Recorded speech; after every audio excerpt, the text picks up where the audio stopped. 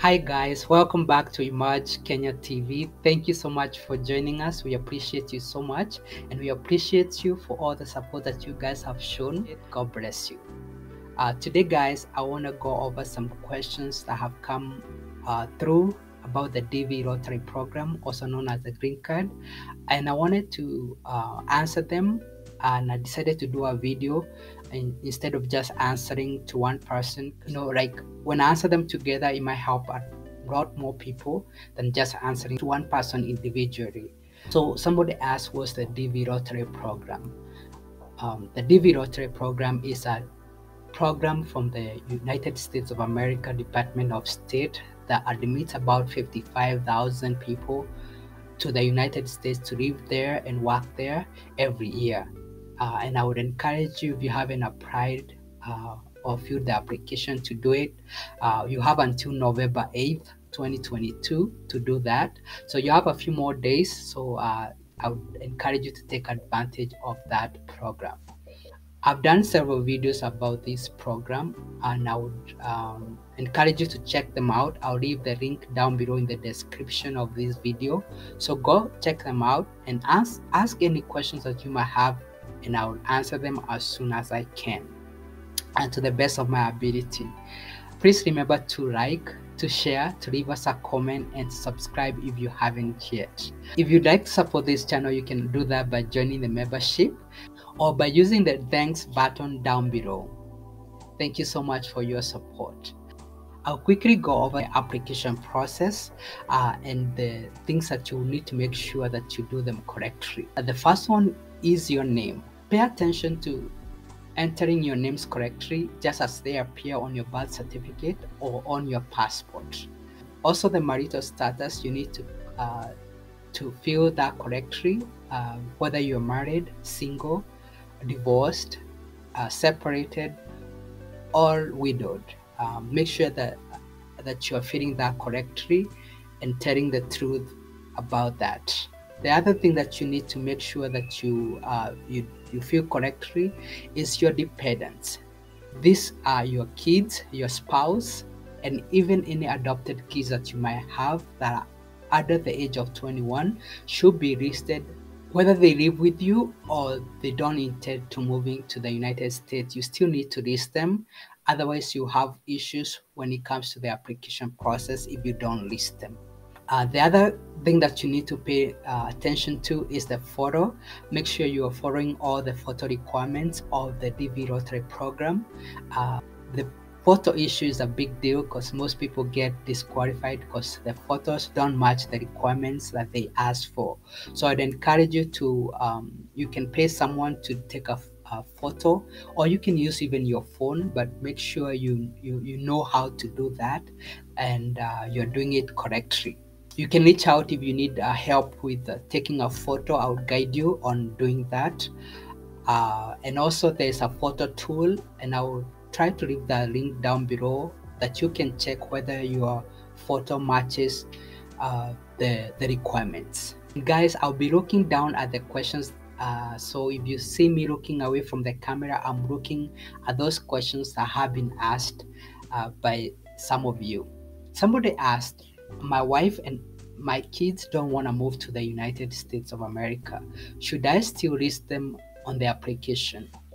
The answer is yes. You should list them even if they don't want to move there.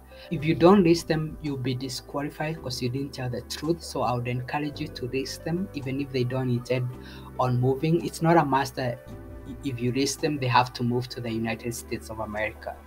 Another question that was asked I've made a mistake while applying for um, for the DV Lottery program. Uh, should I fill another application? The answer is no. Filling as multiple entries will result you to being disqualified. If you did a mistake while filling the application, I would encourage you to just let it go. Don't fill another application because that would disqualify you. Um, so what you can do is uh, when you when you are selected, you can do an affidavit uh, explaining why you made those mistakes. Uh, another question that was asked, um, what are my chances of winning? Uh, that your chances of winning, I, it's hard to tell, but I know people who have won and I know you might know some people who have won. So the chances are there, but they are very low. But I would still encourage you to uh, still apply because you never know. You might be one of those who are selected. But the last few years, especially if you're from Africa, half of those who were selected are from Africa. So that tells you that uh, there's a high chance of especially if you are watching this and you're in Africa, of you being selected uh, for the DV Lottery program. Another question that was asked, and it doesn't uh, relate to the DV Lottery program application process, but somebody asked about do I need a host um, for the DV Lottery program? Usually, when you um, when you go through the interview, they will require you to have a, a host to host you when you arrive in the United States. When you are filling the application, you don't need the the host, but you will need a host to move to the United States of America. Somebody asked, Can my spouse fill a separate application? And the answer to that is yes. So that's a way to increase your chance of winning. So I would encourage you, if you're married, to fill separate uh, application, but make sure you're listing each other in those applications. The question that was asked, Can I apply if you haven't graduated from high school? The answer is yes you can still apply if you don't have a high school certificate you can still apply for the DV Lottery program, but you need two years of work experience in a course that requires this uh, training. That's like uh, if you are a plumber and you went to school and you can have a certificate to show that you are a plumber or an electrician, a saloonist. Uh, do you call them saloonist? I guess so. Somebody asked, I'm married but I'm separated from my spouse. Do I still need to list them in the application? The answer is yes. If you are not, if you don't have any court documents to show that you are divorced uh, or legally separated, you still need to list them, even if you're not living with them. So, if you are separated and you're not living together, I'll still encourage you to list your spouse in the application process. That doesn't mean that they will move with you to the United States of America if you get to win the, the lottery program. Somebody asked, I have two names on my birth certificate. How do I go about uh, applying? So if you have two names uh, on your birth certificate, you uh, you just list your first name and you and the other name as the last name. You can just keep the middle name. There is uh, an option there to say that there is no middle name. So i won't fill any other name if it's not in my legal documents. Somebody asked do i need a passport uh, to apply for this dv lottery program?